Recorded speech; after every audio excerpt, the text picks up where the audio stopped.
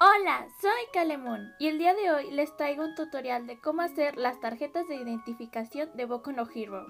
Los materiales que vamos a utilizar será cartón, puede ser de caja de cereal o caja de cartón normal. También tijeras, un lapicero, poquito pegamento, no tienen que tener un botezote como yo tengo. Un plato o algún recipiente donde podamos poner agua y pegamento.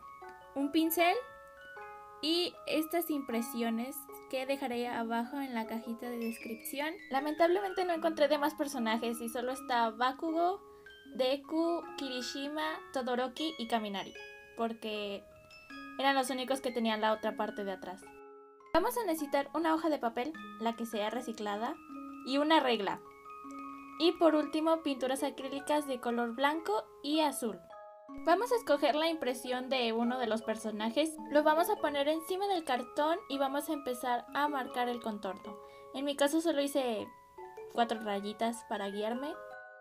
Y una vez hechas usé la regla para empezar a hacer líneas y hacer un rectángulo con las medidas de la tarjeta de Todoroki. Una vez que tenemos nuestro rectángulo hecho lo vamos a recortar.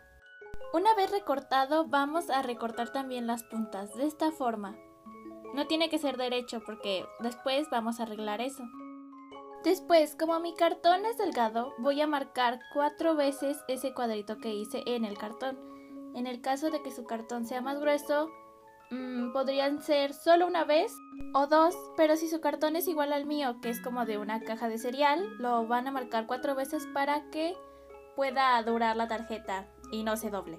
Ya que las marcamos y recortamos, lo siguiente que haremos será poner pegamento encima de una de ellas. Después pondremos otra encima de esta y así iremos pegando las cuatro. Así debería de quedar una vez ya pegadas. Ahora, si ustedes quieren un llavero, haremos el mismo procedimiento del rectángulo, pero ahora le haremos una curva encima de este rectángulo porque por ahí pondremos la cosa esa que sostiene a los llaveros. no recuerdo su nombre, la verdad, pero creo que saben cuáles son.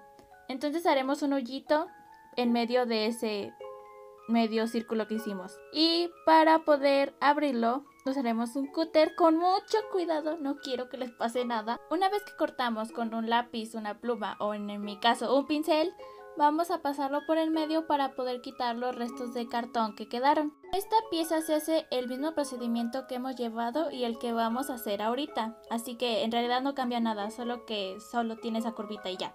Ahora en el recipiente vamos a poner pegamento y agua. Vamos a agarrar nuestros cuatro cuadritos que ya pegamos y con la hoja de papel vamos a ir cortando pedacitos. Estos los pasaremos por el agua y el pegamento ya mezclados y los iremos poniendo encima del cartón. ¿Por qué hago esto? Para que la tarjeta aguante todavía más. Y además vamos a redondear las esquinas. Por eso vamos a hacer como un tipo rollito y lo vamos a poner en las esquinas, así como están viendo en el video.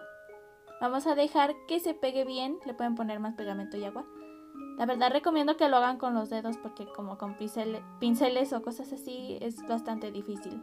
Ya que redondeamos las esquinas, solo vamos a empezar a rellenar, bueno, a forrar de hojas de papel todo el cartoncito. Así hasta que no les quede ningún hueco.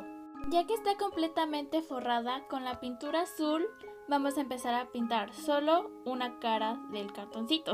Y una vez que seque, ahora la otra cara la vamos a pintar de blanco. Las orillas también las pintaremos con cuidado y damos esta capa de color blanco para dejar un mejor acabado. Ya que secó vamos a tomar la impresión y como ven tiene una rayita azul arriba. Entonces vamos a marcar esa rayita y vamos a pintar solo la parte de arriba y las orillas de la parte de arriba que marcamos, como ven en el video. Ya que está totalmente pintada, este procedimiento también se hace con la como la que es pero Este, vamos a tomar la impresión y de la parte de donde solo está pintada de azul de un pedacito, de ahí vamos a poner la impresión que tiene el personaje. Del otro lado haremos lo mismo pero ahora pegando la que tiene las iniciales de la escuela. Una vez pegadas, el penúltimo paso es pasarle pegamento por encima para proteger la impresión en sí para que no se gaste ni se ensucie. Este paso yo lo hice con los dedos, pero también pueden hacerlo con un pincel, como se sientan más a gusto. Una vez que secaron, el último paso es opcional, pero vamos a utilizar un plumón o una pluma de color azul fuerte para hacerle esa rayita que nos falta. Y así quedaría nuestra tarjeta. Disfruté muchísimo hacer este video, la verdad quería hacer este video ya hace mucho porque un comentario bonito me dio la idea y pues aquí está. Y también aparte de la de Todoroki hice una de Kaminari y la de Bakugo, que es la de llavero. A esta como estaba quemada le tuve que poner pintura de color negro para que se viera que el llavero también está quemado. La verdad creo que esa fue mi favorita, además de que Bakugo es mi personaje favorito. Y espero que les haya gustado el video. Y si es así, denle like y los invito a suscribirse. Me pueden seguir en mi Instagram como arroba o búsquenme como calebibun. Y lo más importante, ya llegamos a los mil suscriptores. Ya, somos mil personas en este canal. Estoy tan feliz de que ya seamos mil, de verdad. Muchas, muchas gracias por ah, suscribirse. Y nos vemos en un próximo video. Muchas gracias.